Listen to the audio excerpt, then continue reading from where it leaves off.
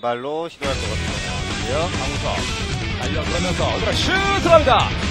아, 하지만 자, 오른쪽에서 옥동초 올라가야죠. 이승민 올려주고 어, 어 잡아냈습니다. 공 살아 있고요.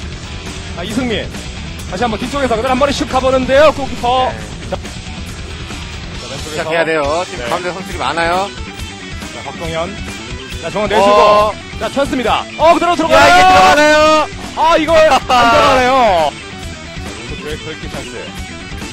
부분에서 기회 아, 잘 붙였어요. 윤태서 헤딩 아, 빗나갑니다. 위협적인 상황이 될 수도 있었어요. 자, 왼쪽에서 농소초등학교.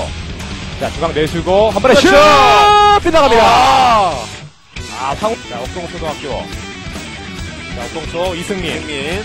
오른쪽에서 돌파하면서 올려주고, 자, 수비 맞고 나가면서 코너킥. 중견을 예, 하고 치겠나봐요. 네. 자, 양팀의 초반전 경기가 이제 시작이 됐습니다. 자, 양팀 진영을 바꿔서 경기를 함께하고 있습니다. 이게 문제으로 붙을 것 같은데요. 자, 한번 올려주고, 키퍼 잡아냅니다. 골키퍼와 수비 사이를 강타하는 그런 크로스가 필요하죠. 박민주. 올려주고, 그렇죠. 연결! 빗나갑니다. 아, 전방과 후반전이 어떤 어, 달라집니다. 그런데 슛! 나. 아, 지금 좋았어요. 되어 있네요.